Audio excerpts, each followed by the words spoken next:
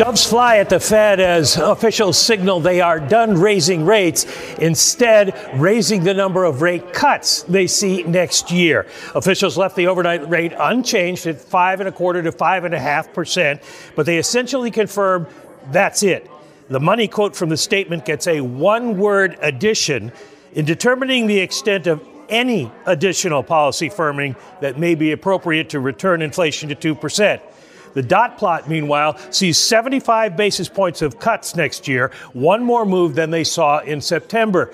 The dispersion is wide, however, with eight seeing fewer than those three cuts, five seeing more than three. In 2025, they see an additional four rate cuts, one down from September, and two more in 2026. The longer run neutral rate remains at 2.5%. Their move comes as they significantly lower their median headline inflation forecast this year to 2.8%. As the statement notes, inflation has eased over the past year, but remains elevated. In the median forecast, it falls further in 2024 to 2.4%, 2.1% in 2025, and 2% finally in 2026. Core PCE inflation, 3.2% this year, down from September's forecast of 3.7%. It keeps falling, hitting 2% also in 2026. The statement says, quote, growth of economic activity has slowed from its strong pace in the third quarter, but they still revised their median forecast for GDP growth this year significantly to 2.6% from 2.1% in September. It falls to just 1.4% next year. Potential growth in the longer run is seen at 1.8%. No change in their unemployment forecast of 3.8% this year, which implies the jobless rate moves up in December because it's 3.7% right now. The next three years, the median unemployment rate will come in at 4.1%. The decision, guys, again, unanimous. Mike McKee, thank you, sir. Let's make it very simple. The 2024 dot, implying three cuts next year from this Federal Reserve. It doesn't meet the market, but it closes the gap and endorses the direction of travel over the last four to six weeks. In the bond market, this is what's falling right now. Yields and falling hard. We're down 19, call it 20 basis points lower at the front end of the curve on a two year, 4.53. On a 10 year, down 13 at 4.07%. Once you figure out where the bond market is, take a guess where the FX market is. The dollar looks a little something like this. Against the euro at the moment, weaker the euro stronger, 108.45. And if you're looking at equities, we endorse a move higher, up by a half of 1% this morning on the S&P 500, up again this afternoon on the Nasdaq by 4 tenths of 1%. Lisa, the rally moves on. We could end up getting a sub 4% 10-year yield by the end of this trading session as the uh, as people parse through this. To me, the fact that this is unequivocally dovish, that they endorse the Fed's idea, that the market's idea of rate cuts and then some, really speaks to a question of is there going to be cleanup act on, on aisle one, or is this going to be Fed Chair Powell saying we're just responding to the data in front of us and it looks pretty good? Well, we talk about Tom the risk, the potential of being whipsawed by Chairman Powell at about 27 minutes time. The early take, and we'll see if it sticks. The early take is this: ultimately, you're looking for three cuts next year. Our four or five cuts no longer sounds that ridiculous. Now you come closer and closer to where we were before. No hedging here. I was going back and forth with a professor at the University of Cambridge, and two standard deviations down on 10 year yield. John, we almost came to it. We came very, very close at two at 4.08%. 4.07 had 4.6. We'll have to see what plays out with the press conference, but this is frankly more than we expected. We also expect wonderful conversation at this moment with Diane Swonk. She's chief economist at KPMG. Diane, you know the interest uh, space is the litmus paper of our economic and our Fed system. Are we seeing a constructive reduction in yields, or does this signal slower economic growth? Well, I think what we're seeing is that the bond market is leaning into the concept of the fact that inflation has plummeted so rapidly. I think this is a full inflation story. There's no question that the Fed is has showed its cards here. They're very excited about the fact that inflation has come down at its fastest pace outside of World War II, the Korean War, and the Volcker recessions. That is really stunning given we've not seen a major increase in unemployment with that, and they're feeling good about it. And I think you're going to see some of that euphoria from Chairman Powell as well. It's more than we expected.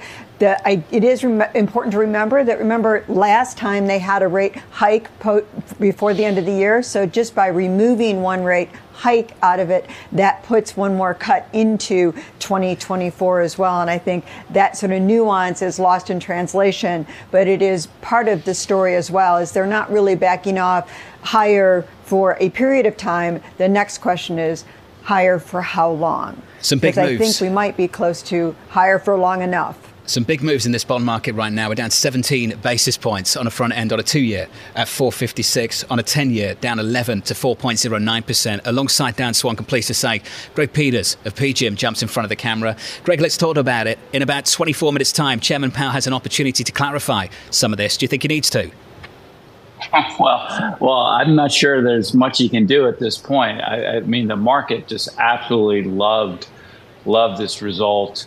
Uh, I thought the market was already leaning a little too much. Uh, evidently, that wasn't the case. We weren't leaning enough.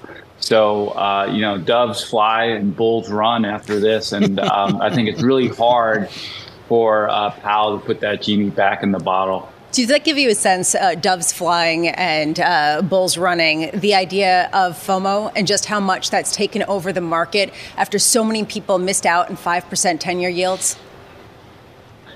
I think that's just an artifact of the current market, right? I mean, the markets are much more volatile.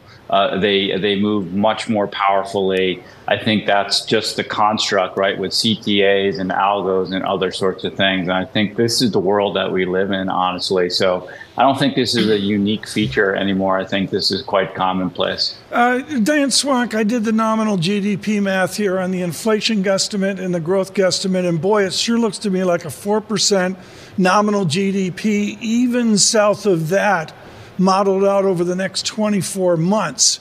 How do our viewers and listeners react to that if our animal spirit post pandemic diminishes down sub 4%? We know what's interesting about it is that also the part that we didn't talk about in the SEPs is that the Fed's long term estimates of what the neutral rate on the Fed funds rate, if you look at their ranges, that has actually continued to move up. And so I think what you're seeing here is that an economy that the Fed expects to cool below potential, unemployment to come up a little bit, although we might not I, the consumers really taken everything. The feds tried to deal them and you know taken it with stride and kept on going. And i think that that may mean some upside risk to the economic growth side of this situation. But it's really interesting that the fed's terminal rates now look like they're starting to move up even more than they were last time, and that seems to have gotten lost in translation. That's not what the market's focused on right now, but I think the Fed is looking at an economy that's more resilient and that will take off more rapidly as rates come down. Does that cohere with what you think? That basically we're talking about a higher new neutral rate as we uh, have no landing or a very, very soft one?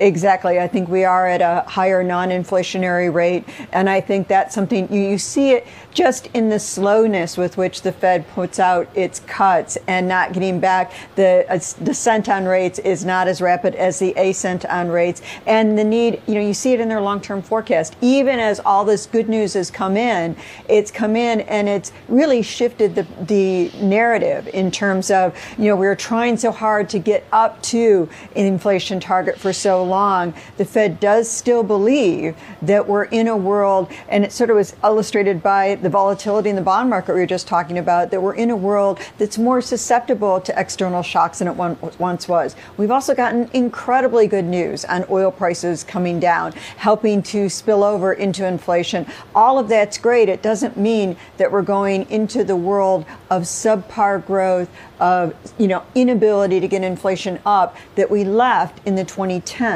We have healed balance sheets, except for the federal government, quite significantly since then. And I think that's where the paradigm shift is. Diane, let's go through the projections together. The median for 2024 GDP 1.4%, unemployment 4.1, core PCE 2.4, Fed funds 4.6. Diane, not so long ago, you and I used to talk about this being aspirational. How realistic is it now?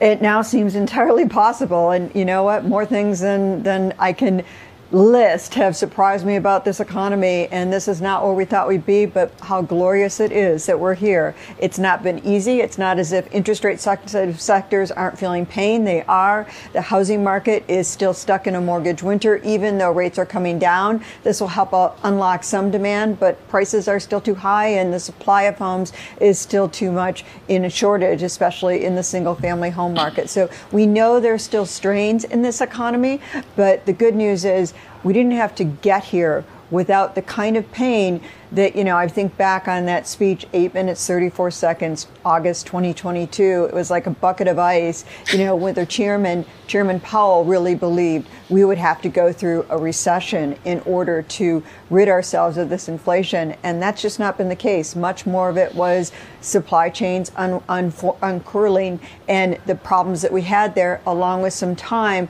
to let demand, the production pick up with demand. And I think that's important otherwise known as transitory, just not called transitory. Greg, can you buy into this? Uh, this sense was, that yes, we're transitory Greg, over a much longer period of time. Greg Peters, can you weigh in a little bit on whether you think this is plausible, or whether you would lean against this right now, or whether you would actually even sell and wait for for a better buying moment?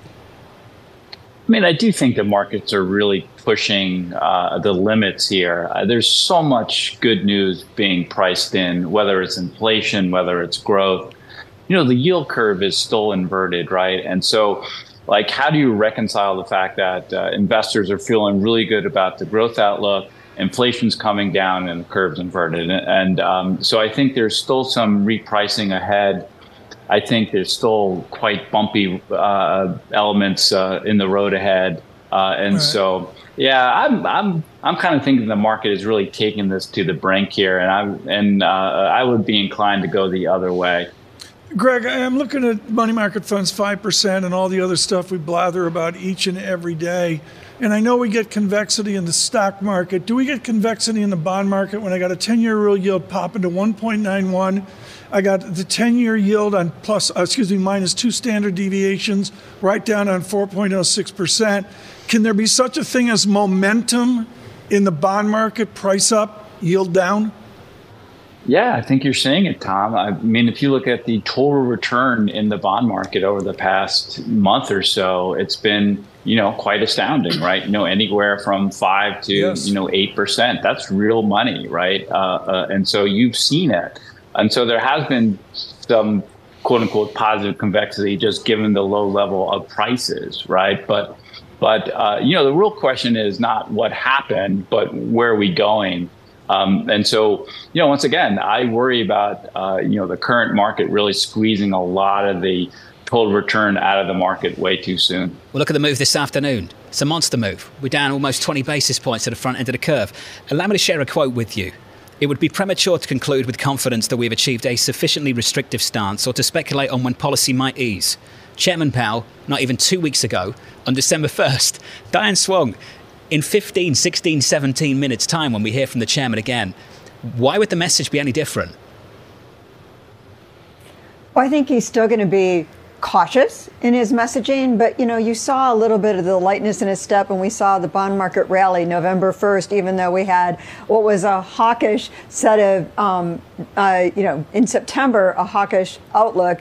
By November 1st, you saw the market unwind significantly since then because of how euphoric and a little bit um, excited that Chair Powell was in that press conference. And so I think it's going to be hard for him to walk back a lot at this point in time. I think it would do him good to be cautious and to be a little bit, you know, contingent on, you know, we're we're excited, but here's the risks. But I think it's going to be hard given they signed off on this statement and they signed off on this forecast, and this is dovish is about as dovish as we could have expected. I this is more than I expected in terms of dovishness, and I think it's hard for him to walk it back. And I don't think he would be walking it back all that much, given the fact that they all signed off on it. Which is the reason why you're seeing he's an not going to add to it, yeah. but he's not going to push back too much. Which is the reason why, and it's a good point, that you're seeing an 18 basis point drop in the two-year yield as time goes on, 4.54%. Greg, you said you'd push back against this. The market's really taking this to the brink.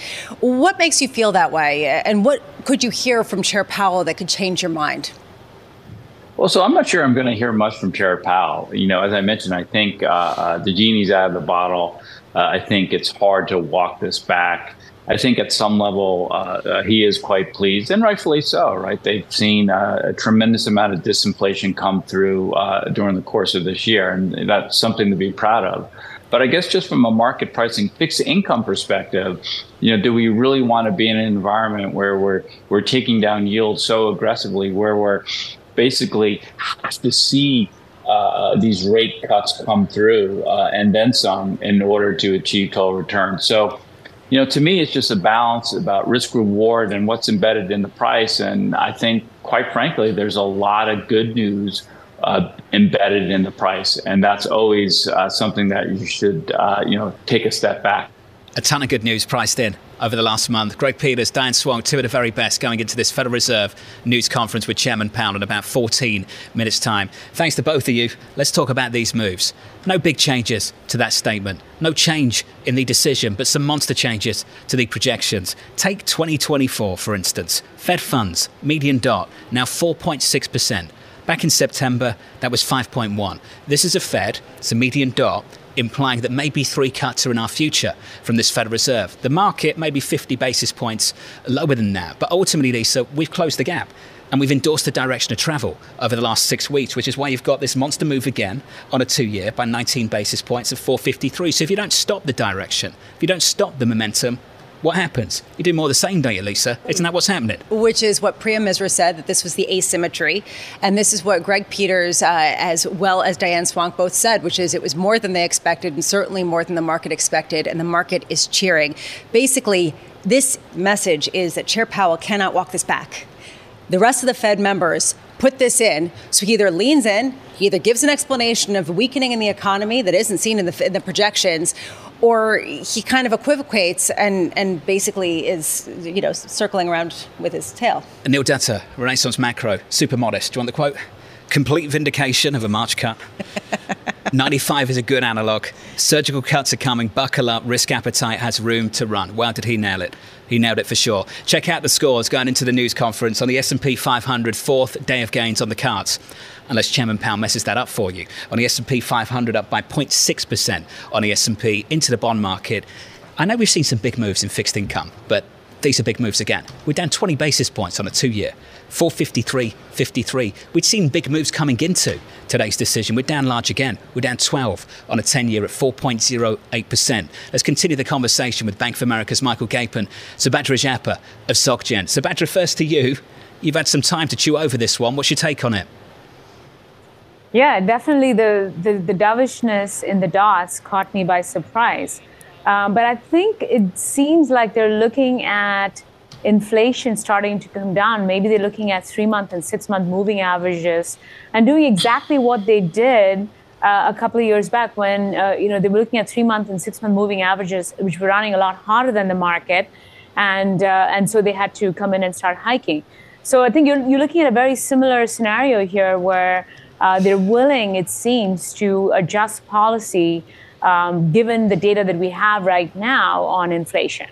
Michael Gapen, thrilled to have you with us, particularly with the reach of the Bank of America across all of America, the consumer, the pulse of our 70% consumption.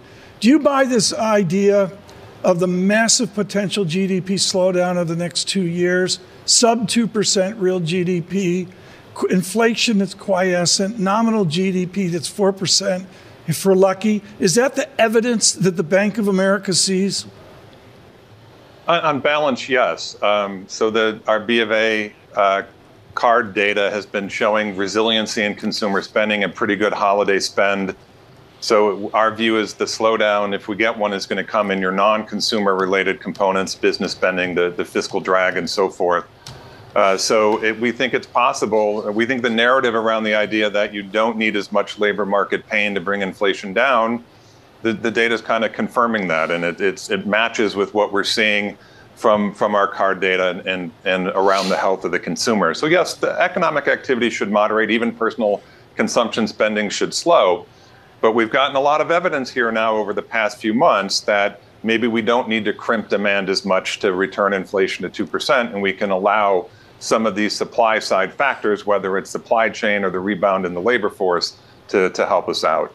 Michael, could this rip roaring rally go against that? Could it make it more difficult to achieve the actual end of the soft landing by rejuvenating certain demand and rejuvenating animal spirits?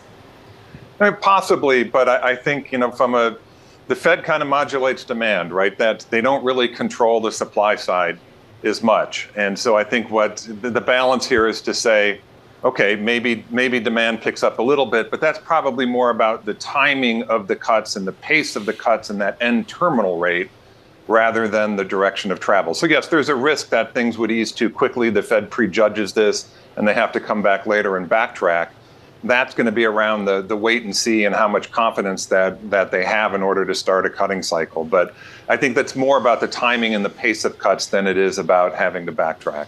Subadra, you and many other people were expecting hawkish pushback. That was actually the consensus belief coming into this meeting. Uh, does anything about this statement make you rethink how you would respond to this? That basically, load the boat, FOMO is on, let's go. Yeah, no, definitely. I mean, I think the FOMO trade's already happened, right? We've had 10 yields uh, decline from 5% all the way down to now close to 4% in a very short amount of time. Um, so, you know, I think I would have to agree with uh, this, the statement you read from Neil Dutta earlier, which is maybe the market is looking towards uh, a much more of a an adjustment in policy as we go along, uh, modus operandi uh, from uh, the Fed. I mean, that's not our view. We still think that the Fed is going to keep policy on hold at least till till May, till they see a very clear signal mm-hmm. that inflation is trending towards their two percent target. And we think that the economy, broadly speaking, should hold up, up up until that point. Because it's, I mean, once we get to that point, I think the Fed can very quickly cut rates in a very short amount of time if there is a meaningful slowdown.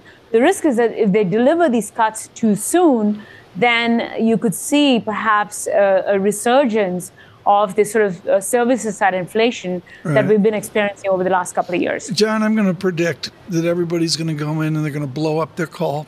They're going to blow up their year-end outlook. I hear all this good talk. I think Michael Gapen is absolutely dead you on. You think it gets more bullish than it already is? It's not that it's bull. This is this is really really important. This goes back to Diane Swonk, Gina Martin Adams, and others this to me is far more a real economy analysis, redounding back to these dynamics. In the last two minutes, John, I got a 407 retest of the 10 year yield down 13 beeps. If that puppy breaks through 4.06, that is a massive signal that everybody has to rip up the script this afternoon. We joked earlier this morning that if the party started at the end of October, Governor Waller bought the tequila in the last couple of weeks. Yeah. It's not him I don't think we need to talk about. I think we need to be talking about New York Fed President John Williams. Mike, I remember when President Williams, a number of months ago, engaged a conversation about reducing interest rates as inflation continued to fall, just to keep real rates stable and to ensure that things didn't become tighter over time. Is it too early, too premature for Chairman Powell to engage in that type of conversation in this news conference?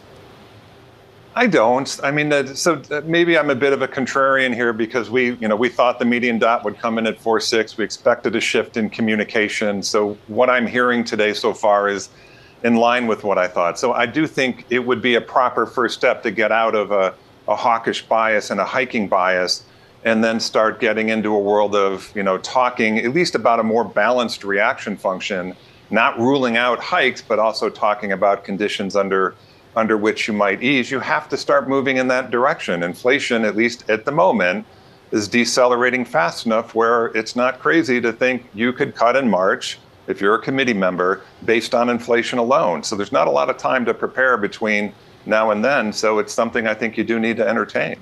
Subadra, I'm curious your view on something we were hearing from Diane Swonk that this sort of soft landing implies actually a higher long term neutral rate, that essentially there is more strength in this economy that can handle rates at a higher level. Are you seeing that within some of these projections and kind of adjusting your expectation just for that base of where the Fed's going to ultimately cut to?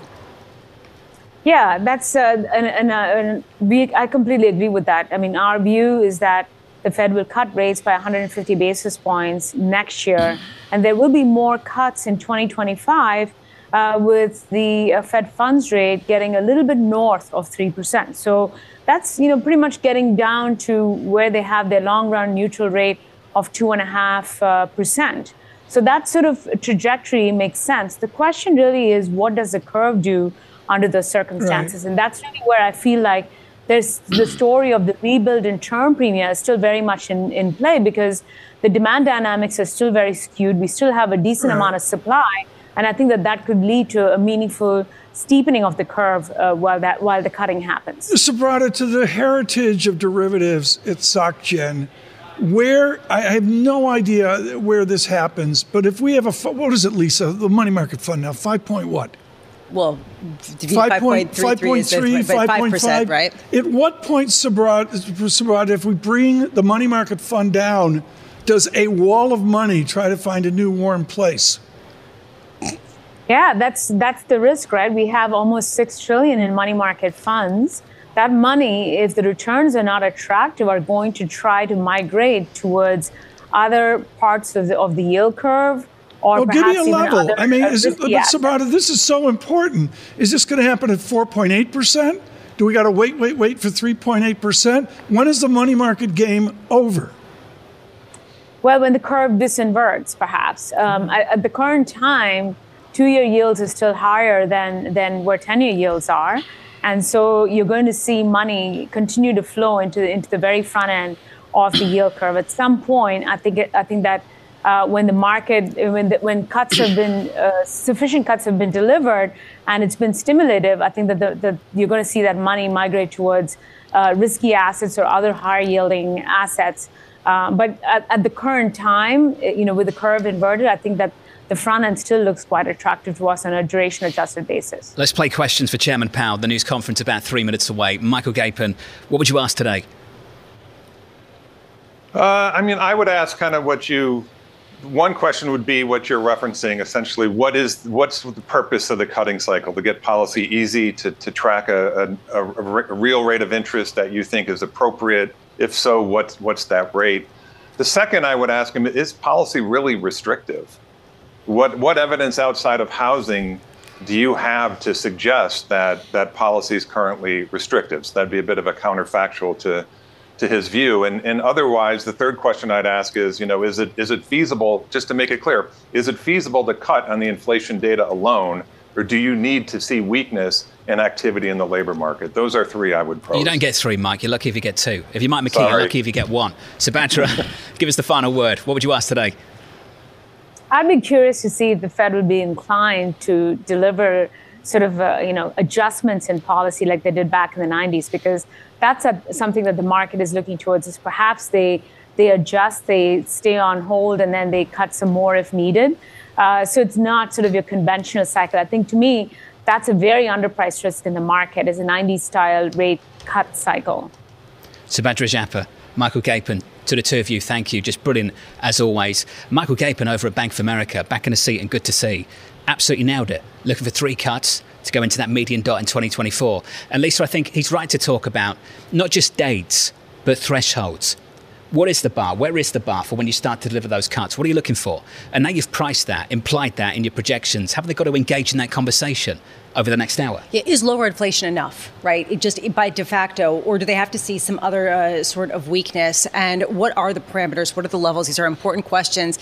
I also just think that right now, what's he going to say other than just read it and we've got some sort of uh, you know new sense that we are disinflating and it's a positive thing and we'll be vigilant and watch it and uh, go with where we think it's appropriate. As I heard from our guests, they did not expect this. I did not expect this. This is a sea change shift back to the regime pre pandemic. And John, you nailed it bringing up John Williams and the idea months ago of a shocking reset to the R star before the pandemic. And today is a massive shift, a sea change moment in terms of getting beyond the pandemic. I went over this quote a little bit earlier this morning of Chairman Powell's, not even two weeks ago.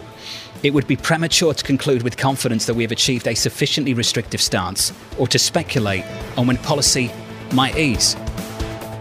This is the Bloomberg Surveillance Podcast. Thanks for listening. Join us live weekdays from 7 to 10 a.m. Eastern on Bloomberg Radio and on Bloomberg Television each day from 6 to 9 a.m. for insight from the best in economics, finance, investment, and international relations.